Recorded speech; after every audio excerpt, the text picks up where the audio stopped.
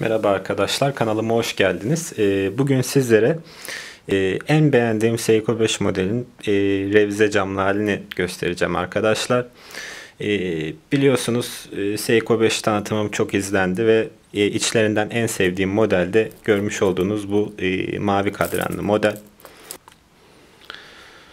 Evet arkadaşlar bu modeli de niye diğer modellere göre daha çok sevdiğimden size bahsetmiştim. Hem 39-40 mm civarı bir kasa çapına sahip hem de diğerlerine göre çok özel ve orijinal bir cam olması aynı zamanda kadran rengi ve mekanizma işte 6119 mekanizma kullanıyor.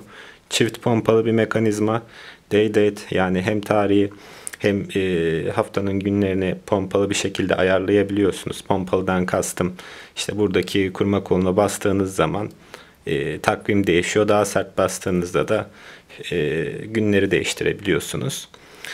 E, bu modeli e, arkadaşlar görmüş olduğunuz gibi kayışı kendi orijinal kayışı. Benim için de manevi e, değeri yüksek olan bir saat. Dedemin kullandığı bir saat.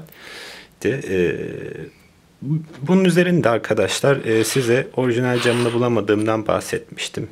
Görüyorsunuz bunun üstünde kullanılan camı böyle bombeli bir camdı. Şu şekilde size gösterebilirim. Ve biz arkadaşlar ustam sağ olsun bunun e, birebir orijinal camını bulduk. Hatta bulamadık da e, çıkma bir cam üzerinde tıraşlama işlemi uyguladık. Bu camın özelliği arkadaşlar e, üstün düz gelmesi ve alt kısmın yani kadran tarafına bakan kısmında bombeli gelmesi. Ve diğer bir özelliği de camın aşırı sağlam olması arkadaşlar. Yani bu camları piyasada çok zor bulursunuz. Böyle orijinal olanlarını. Hani genelde orijinal diye sattıkları şu camlardan olur. Hem üstte hem altı bombeli gelir ama bu camlar çok sağlam camlar değildir. Bu arada bunlar mika değil arkadaşlar. Bunlar mineral türevli camlar. Yani normal camlar.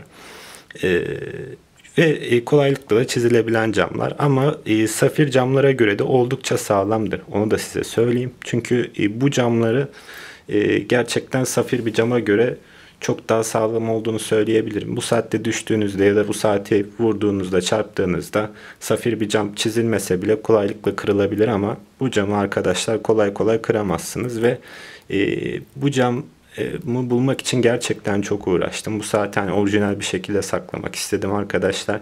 Siz de eğer e, 6119 mekanizmalı veya işte bunların balhead veya kronometreli modelleri de var.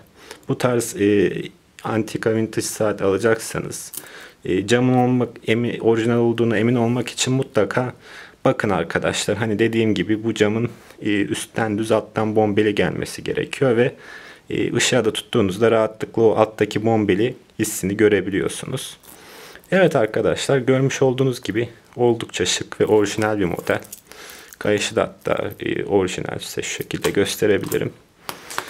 E, kasa çapından dolayı da oldukça beğendiğim bir model. Hani koldaki duruşu da e, diğer Seiko modellerine göre oldukça şık. Size şu şekilde gösterebilirim.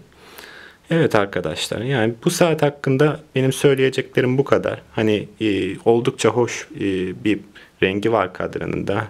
E, diğer Seiko 5 modellerine göre de çok şık olduğunu söyleyebilirim. E, bu model hakkında da söyleyeceklerim bu kadar arkadaşlar. Beni dinlemiş olduğunuz için teşekkür ederim. Kanalıma abone olmayı unutmayın.